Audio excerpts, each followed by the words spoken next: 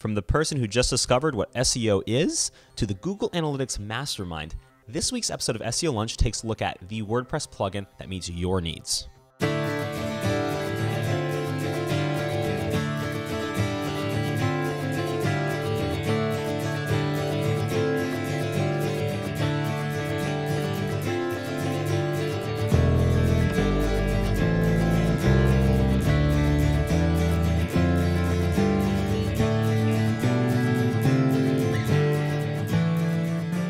Hello, everyone, and welcome to this week's episode of SEO Lunch. I'm your host, Dan. And uh, SEO Lunch is your look at the weekly dose of sort of what's going on uh, SEO. It's also a look at how to implement SEO into your WordPress powered website. Um, so please subscribe to us uh, at slocumstudio.com slash subscribe. Or if you're watching us on YouTube, hit that big old red subscribe button to get more of this awesome content weekly as it comes out, as well as look at our other web shows like Press This, Fresh Dev, um, and get access to Matt Report and things like that. So, what are we talking about this week? Well, a couple weeks ago, I talked about sort of a general way to write a blog post. And one of the topics that was discussed there, as it is a very, very important part of making a blog post, is search engine optimization. Basically, how to make it so that your post is going to look good when Google, Google goes to crawl for it. Um, today, we're going to look at more plugins. So, months and months and months, almost a year back, we looked at some SEO plugins on Press This. We looked at All in One SEO and WordPress SEO by Yoast. Um, we're going to take a look at those two as well as a third additional plugin. Talk about for you as your small business or blog or whatever you're using it for, which one is going to be the best for your needs. So um, we're going to start, and I have them kind of organized here by sort of ease of use all the way up to difficulty of use, but also from from a feature set perspective, which ones offer more or less than each other. We're going to start with all-in-one SEO pack. This comes from Semper Fi Web Design. Um, and let's, let's dive right in here. So if we're going to go here, I have it activated here, the plugin. Uh, they have their own setting right up here at the top. what I want to note about all-in-one SEO is all-in-one SEO truly is sort of the beginner's SEO plugin. By the way, all three of the plugins I'm talking about are completely free and can be found in the WordPress repository just by searching for them. I'll also provide the links below uh, on YouTube.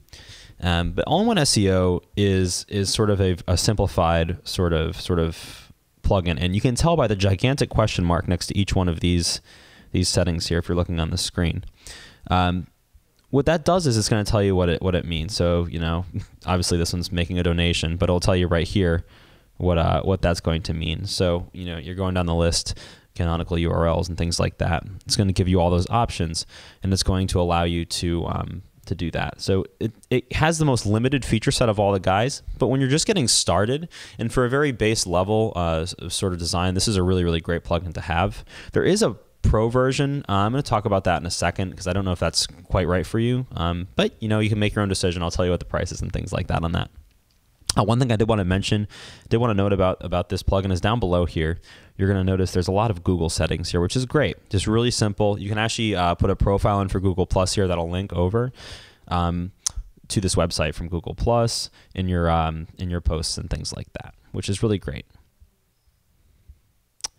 Uh, and if you're looking at posts, let's go and let's add a new post here. This is what all-in SEO pack looks like. It's very, very basic. Um, you know, no follow and no index in Google and things like that. So basically, you can make it so that you know any of none of the links on the page are actually followed by Google. We talked about that last week with no follow links. This does it for every link on your web page or a post, I should say, over here. Um, and then just very basic meta title. And again, the meta title is going to be you know what what shows up in the preview, and it does have the preview snippet here. So if it's about pizza sauce, write pizza sauce here, and then um, the description could be I don't know. This is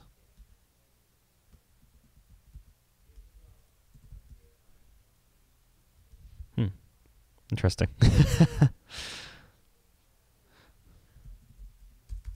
Sorry about that. My computer was freaking out. That wasn't actually the plugin. this is an article. Apply the video capture software. This is an article about pizza sauce. Let's show up below with the pizza sauce here.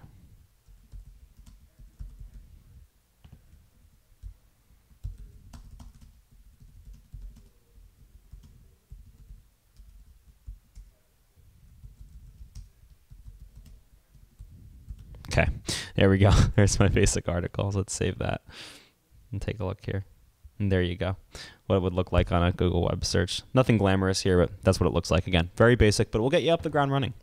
Um, the next one I want to talk about is WordPress SEO by Yoast. This is created by the man himself, Joost de Valk. Uh, he's a very, very outspoken member of the uh, uh search engine optimization and inbound marketing community always kind of saying, kind of talking about different topics, and he's very, very vocal. Um, he also makes a really great plugin. Uh, it's the one that I typically use personally, um, and I don't want that to sort of sway you to picking this plugin over others, um, just because I'm saying, telling you that I use it. Um, I just really like one specific thing that I'm going to tell you about, um, and I think it's really, really great if you are starting out. But let's go here in the settings. Um, he has a more visual approach. One thing I want to say that's a negative for me on this plugin is there's a lot of emphasis when you first install the plugin about tracking your information. It allows you to opt in here for tracking. And what this is, what he says here is, um, you know, he'll gonna, he's going to crawl your website, track your website to sort of better improve his processes and what he updates in his plugin, which I guess is kind of good from that perspective. But it's also sort of um, potentially deceptive, and it's just I'm not comfortable with it, and I don't know if you're comfortable with, with tracking your information, but you can just opt out of it, so it's not a big deal. Um, WordPress SEO by Yoast has one really, a couple really great features to it um, that the others don't have. So if you like these options, I recommend downloading this one for free.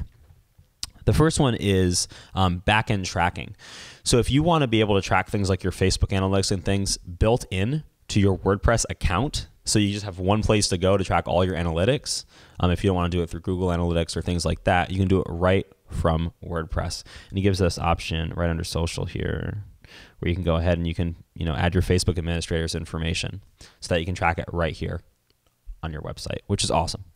Um, another thing that the other guys don't have, which I'm shocked by, but it's also really cool because you can start here and if you don't like it, you can always export, is you can actually take all your settings and either export them here, like your metadata, or you can import settings from other plugins, which is really cool. So if you're using all-in-one SEO and you're, you know, it's it's the easy one, and then you move on to WordPress SEO because this one does have more options with regards to sort of sort of more high-level SEO.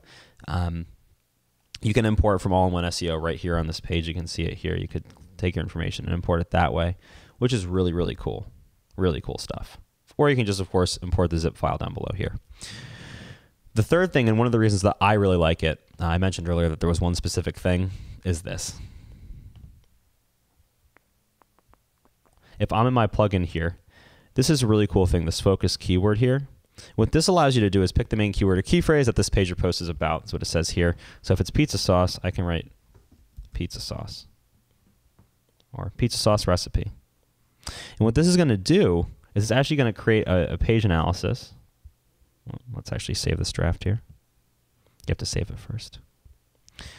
So down below, you'll notice that it actually tracks the page. You know, it tracks your URL, it tracks the content. It will tell you how many times the content shows up. So if you want pizza sauce to show up a few times, you can type that in. If it shows up in the meta description, so if I write pizza sauce, whoops, wow, I can, I can type recipe. There it is. You saw you just saw there that it popped in for the meta description, which is really really cool. And I really like that it also um, tracks other things. For example, it'll it'll it'll track like um, right here. You know, you should have this many. You know, pizza sauces in your article. It should be this long. There's a lot of really cool stuff. There should be some H2 stuff in the copy. It's really great, and it's a really great way that if you're starting to write a blog post, it's all right here for you. If you want a good guideline uh, without watching videos and things like that, here it is all right here for you. So I really like that if you're starting to write blog posts. Cool. The third one I want to talk about is definitely the most high end, and I would not recommend this if you are, um, you know, a typical watcher of the show, even potentially uh, who who might be, you know, getting just just getting into this and looking for plugins. Is uh, SEO Ultimate. Um, SEO Ultimate is very very high level, and they don't mess around with it either. Um, there isn't a lot of help. You're not going to see question mark buttons like you do see an all-in-one SEO pack. Um, so I'm going to activate it here and you're going to notice right here. I mean, just looking at this SEO, the amount of options you have. When we go in here, we have all these settings to enable, disable. It doesn't really tell you what it does. Um, and they have a YouTube video on the plugin repository page, so you can kind of look at it and get a tutorial. But there's a lot of high-level stuff in here. I invite you to kind of look here while I'm scrolling around what they have um, for on the table.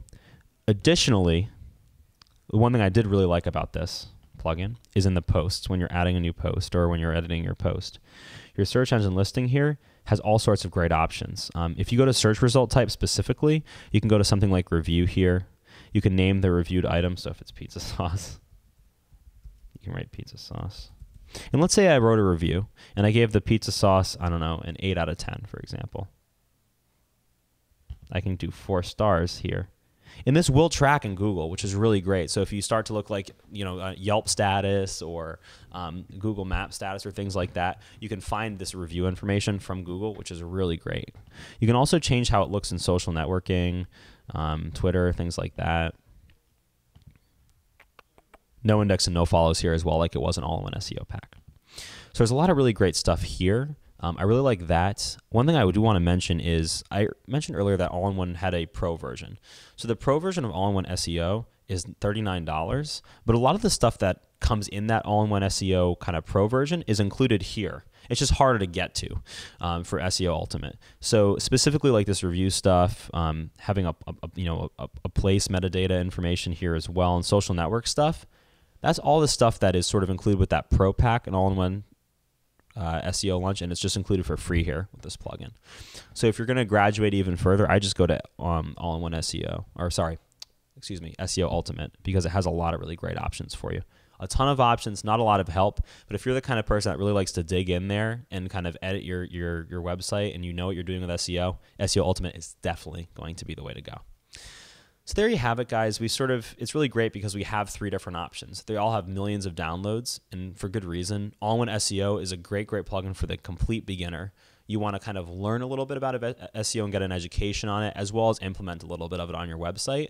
All in SEO is going to be for you when you've gotten a little bit more advanced, and if you want really good control and really good a really good look at what your blog post looks like on Google, uh, WordPress SEO by Yoast is going to be the way to go. Also, the importing and exporting options are fantastic on that plugin.